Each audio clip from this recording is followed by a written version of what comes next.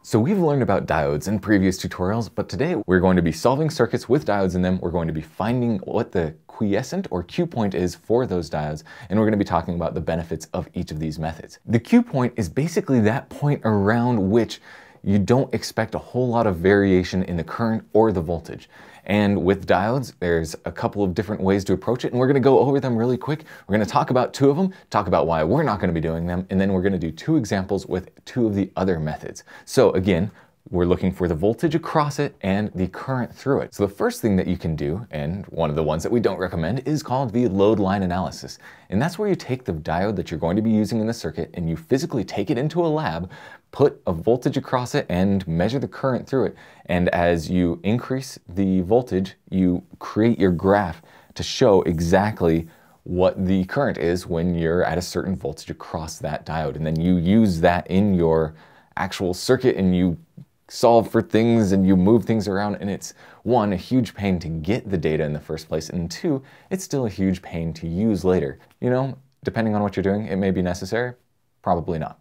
The second thing you can do is actually a mathematical model. With this math model, you can see that you have the voltage drop across the diode on the left hand of the equation. Then you have a bunch of other stuff. So you have V sub S, which is the source voltage across the diode.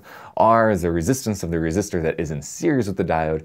And then you have your I sub S, which is the current through the diode and resistor. But you also notice on the right hand of the equation, there's another V sub D, another voltage drop. So this is an iterative thing where you have to go through and not only do you have to have all of those other other things figured out, you then have to iterate and try and find exactly what that voltage drop is going to be over that. So it's a pain, and again, you probably don't need it. It's, it doesn't make a whole lot of sense, but it is one method of figuring out what that voltage drop across the diode will be if you have all of the other information anyway. So kind of dumb, but I just wanted to introduce those because there are multiple ways of approaching this. And just because there's a lot of ways doesn't mean that you should use all of them. Again, if you're going to be doing your PhD thesis, then do what you got to do. But the third way that we're going to talk about, this is the simplest way, and in another tutorial we talked about this, and this is where we just assume that if a diode is forward biased, there is no voltage drop across it. And if it's reverse biased, then the voltage is whatever it just happens to be in the circuit. So as we do this, there's gonna be four steps that we follow one, when solving a circuit with the ideal diode model. So here I'm going to create a circuit. I got this from taking a microelectronics class at Boise State, just pulling off there. And if I were wise, I would have practiced this beforehand and we will see if it goes to complete heck in a handbasket again. And I am creating this circuit so that we can 22K go through those four steps that I just mentioned. So the first thing is just created the circuit. Now I have to look at this circuit and wow, that is a terrible resistor. That that may be one of the worst resistors I've ever made in my entire life. So we're looking at this circuit and we are deciding which diode is going to be forward biased and which diode is going to be reverse biased. And so I have to just kind of guess looking at it and think, okay, I've got 9 volts here. And so if these were both forward biased, I would have 0 volts here, which would mean that I'd have current flowing this way. That makes sense. And then I'd have a negative 6 volts there. But then is that being a much smaller resistor than that, is that going to make it so I'm actually getting flow this way or is the flow going to be going back that way? And you just have to look at it and make that assumption. And that is the very first step. So on this one, I'm going to look at this and say, I believe that this is going to be forward. So it's going to be treated as a short circuit in this ideal diode model. And then this will also be treated as a short circuit in the ideal model. So let's recreate this with those assumptions. So we're going to go down and that actually didn't get any better. And then we'll put a node there, show that as a short circuit to ground. And then we'll go there and show that as a short circuit to 43K, then negative 6 volts, positive 9 volts, 22K, and 43K. So that's our second step is now that we've made our assumptions, we've recreated the circuit. The third step is now doing some basic circuit analysis to see if our assumptions actually work.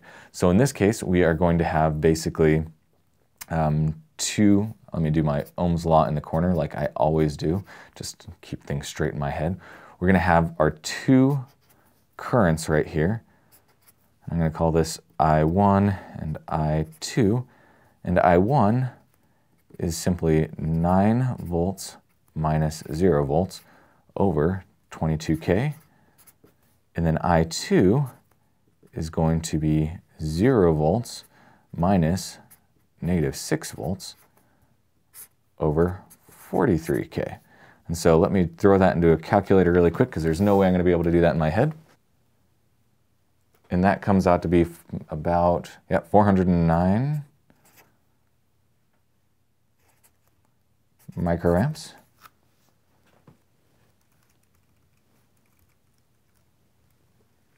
And this comes out to be about 140 microamps. Okay, so that looks good. Now, one of the interesting things here is that I1 is not the current that goes through this diode, it's the current that goes through the diode and also through this diode. So we're going to mark that as I3, and we are simply going to find I3 as I3 equals I1 minus I2. So that is going to be 409 microamps minus 140 microamps. And that will give us a number that, again, I can't do in my head, 269 microamps. Okay, so now we have actually solved and we have a assumption that we are going to have zero volts across both of these diodes and we have assumed that we are going to have 140 microamps through that and 269 microamps through that way. So our quiescent point, our Q point for, let's do some retcon here, for D1 is our voltage is going to be 0 volts and our current is going to be 269 microamps. And D2, wow, I'm just, I'm having one of those days. D2, subs of 2, is also going to be 0 volts and 140 microamps. Now, frankly, the the way I did this, I often see it done another way where you actually have the current first. I'm used to just doing volts and amps, but you might see it where people say, hey, actually do current first, so 140 microamps and then zero volts. And that, that will be your Q point for diode one and your Q point for diode two. Now this is where we get to our final step in the process and this is where we look at it and say, does this make sense? Now, for there to be zero volts across these diodes, we need to have a positive current in these directions that we've established. So as we look at this and we say, all right, D1 has a positive 269 microamps in that direction, and D2 has a positive 140 microamps in that direction, and we are assuming that those are both zero volts, all of these numbers make sense with the way we've set up. So we can actually look at this and say, yes, my assumption that both of these are forward biased is correct. And so this is how you do it with an ideal model um, when you're trying to solve for the diode. And it's pretty straightforward in terms of making it simple, just shorting that stuff. And the only difference between this and the fourth and final method that we're going to go over is that in the constant voltage drop model, we have to make things more interesting in there. You can't just put shorts or opens. Well, I guess you can still put opens, but let's get into that right now. So let's do another circuit. So this time we are going to start with positive 6 volts. So have our node right there. Have our 43K right there, another node. And if we want to zoom through this, that is totally fine with me. You know, I've had people tell me that I should have been a lot of things, but an artist was never one of them. I, I don't even know. Was I trying to put negative 9? negative 9 volts. Okay, is that legible? I think that's legible. Okay, then we have our 22K. So now we are set up for our constant voltage drop CVD style. So same exact four steps that we did in the previous one of first, looking at it, making some assumptions. Second, we're drawing out the model with our assumptions. Third, solving for that model. And then fourth, going back, seeing if our assumptions work. And if they do, great, we move forward. If not, we go back and change our assumptions and do the entire thing over again. But the difference is with this, should have pointed this out, this is a very, very crucial difference between this model and the ideal model, is in this one, we're going to assume that it's a 0.7 volt drop. So if we are forward biased, it's not going to just be all right, forward bias, let's put in a short. We're actually gonna model it with a voltage drop, a voltage source of 0.7 volts. So uh, six volts, I'm, I'm still going to make an approximation that this is going to be about zero volts if that is forward. In reality, it'd be 0.7, and that would put 0.7 negative 9. I think that this is going to be forward biased, and this is going to be reverse biased. So now, on step two, create that model, 6 volts down. Why is that so bad? And then I put in my voltage source of 0.7 volts. And then I put this as an open to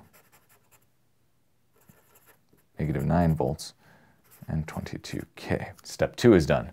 Step three, let's actually solve for this. Now with that being gone, that makes this pretty simple. So let's see if I can, in this case, I1 will be the same thing as going through that. And then we have I2, which is going to be pretty straightforward because that's going to be zero because it's open. But we model it, we have I1. Mm, let's see, where should I do this? I1 equals 6 minus 0.7 over 43K divided by 43,000. It's going to give me 123 microamps. And it is going to put this voltage right here is going to be 0.7 and this voltage at this node is going to be negative 9 volts. And we assume I2 is just going to be um, 0 because nothing can flow through that. Okay, so now let's take this and establish our Q points. So we are going to, and again, I'm going to retcon this because I don't do things in order like I should. D1 equals, um, let's put this as a current first, 1, 2, 3 microamps and 0.7 volts. And then D2's Q point is going to be 0 amps and negative 8.3 Nope, nope, I, I totally got that backwards because I cannot, again, cannot do math in front of my head. So that is 0.7 minus, the, I went the wrong direction. So this should be negative 9.7. Now the beautiful thing is that it doesn't change the way that it's biased, it just changes the fact that I was totally screwed up. So now, again, did everything, taking our time, breathing, making sure we're not making mistakes. Come on, Josh, don't make mistakes. Now, we verify that this is actually set up. So we assumed that D1 was going to be forward biased and we assumed D2 was going to be reverse biased. So as we look at this, we have a positive current through it and then that 0.7 across it just because that's what we have. And then D2, we have zero current through it and a big negative 0.9 negative 9.7 volts across it. So both of these are correct in that we assumed this was going to be forward biased, and it is. And we assume this is going to be reverse biased, and it also is. Now, again, if either of these had been wrong, we'd have to go back. We'd have to say, all right, I was wrong here. Let's assume that is forward bias, and we'd have to recreate this, redo all of that, which would, of course, increase the chance of me being unable to do simple arithmetic again.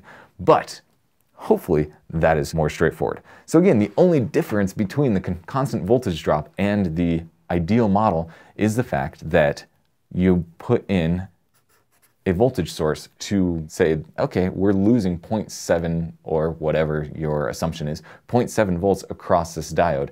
And in most cases it won't make a difference, but in, on occasion it will. It definitely will make things more complicated for you.